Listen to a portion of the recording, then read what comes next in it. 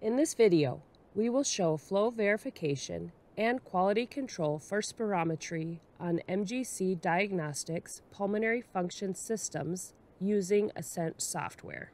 Before performing quality control procedures, ensure the calibration syringe is leak-free.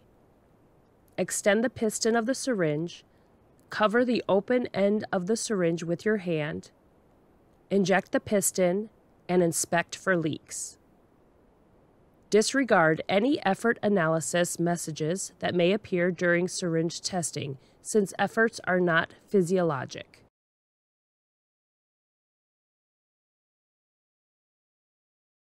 Prior to performing any quality control on your system, you should calibrate or verify the flow sensor.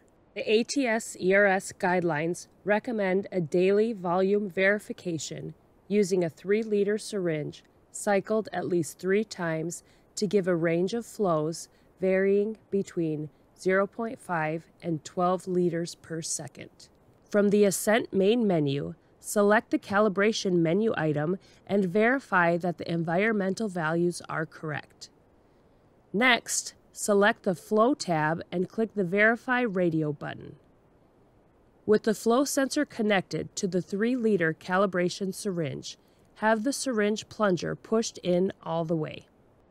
The flow verification and calibration graph has three colored zones, representing slow, medium, and fast syringe strokes. All three zones must be met before passing verification or calibration. There is no requirement as to the order of the strokes. Select the Start button at the top of the screen to begin. When the screen displays Withdraw, pull the syringe plunger all the way out. The screen will then display Inject. Push the syringe plunger all the way in.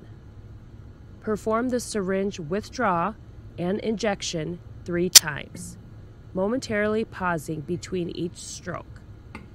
Vary the speed of the strokes to cover the three flow zones.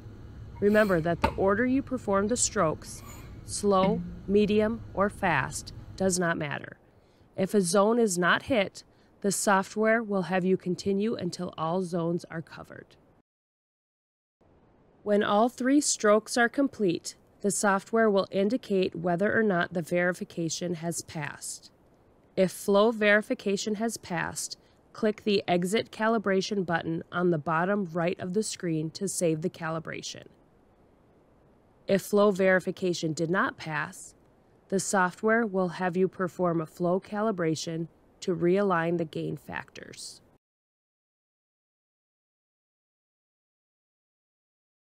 The first time performing a syringe QC, a new subject must be entered. Future syringe QC visits should be added to this subject so that QC trending can occur. From the Ascent home screen, select the Add Patient icon.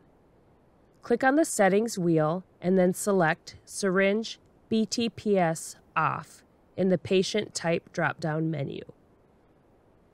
This will turn off BTPS corrections and be used for spirometry, DLCO, and nitrogen washout testing.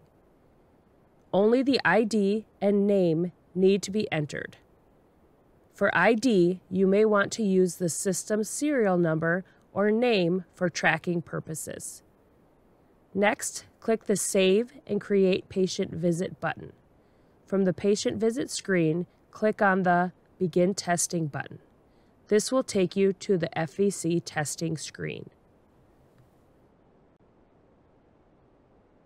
Perform 5 to 7 FVC efforts, varying the speed of each effort perform slow, medium, and fast FVCs to cover the flow range that the patients will achieve. Disregard any error messages that are displayed. Once all efforts have been performed, verify that the measured values are within specifications.